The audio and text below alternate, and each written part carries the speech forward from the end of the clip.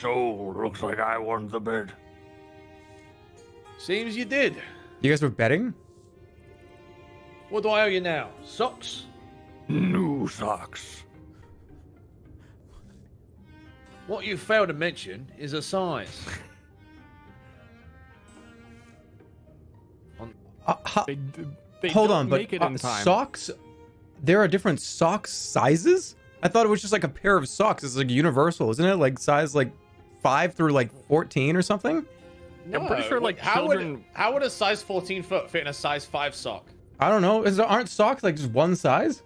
No, it's normally like they're like brackets. So like a size will be like uh 10 to 13 and then like Really? 9 to 5 and then like 4 to 1. Yeah. Is that why sometimes I get fucking fucked up socks that just don't fit?